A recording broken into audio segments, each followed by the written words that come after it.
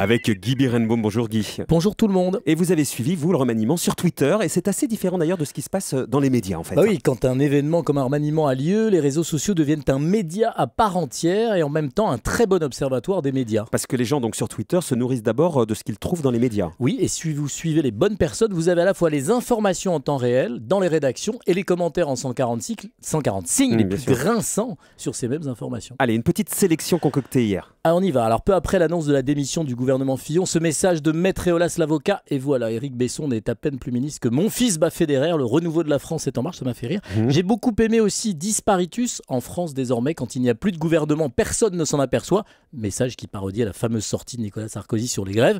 Et ceux qui rêvaient comme brave patrie, finalement, pour cause de restrictions budgétaires, Nicolas Sarkozy ne nommera personne. Alors vous avez aussi repéré des compositions de gouvernement. hein. Oui, la nouvelle nomination de François Fillon dimanche a beaucoup fait écrire. Je retiens ce tweet de Lise Pressac.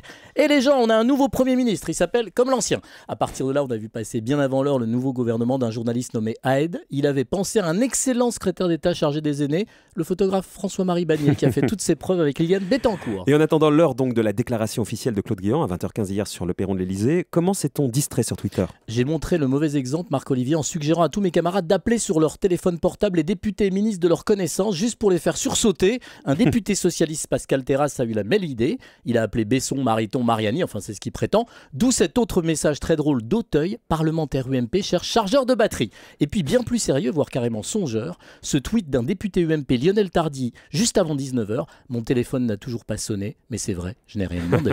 Allez, on va décerner le prix du message le plus drôle. Deux sur des milliers. Bisontin, il y a eu une fumée blanche, mais c'était Carla, elle a encore fait cramer le gigot. Et je décerne mon Oscar à une Belge de 21 ans, Raja, pour ce message. SMS de Sarkozy à Fillon. Si tu reviens, j'annule tout. Franchement, ça vaut tous les éditoriaux politiques. Merci beaucoup Guy Birenbaum. Allez, à demain.